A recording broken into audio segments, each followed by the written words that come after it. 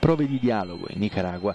L'alleanza civica che si oppone al presidente Daniel Ortega allenta i blocchi stradali, mentre la Commissione per la mediazione condanna gli attacchi contro gli studenti dell'Università di Ingegneria di Managua e chiede di cessare le violenze.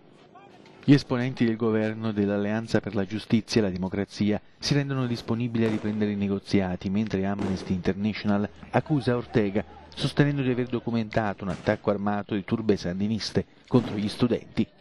Le proteste antigovernative vanno avanti da oltre 40 giorni in Nicaragua. Secondo la Commissione Interamericana dei diritti umani sono morte 76 persone.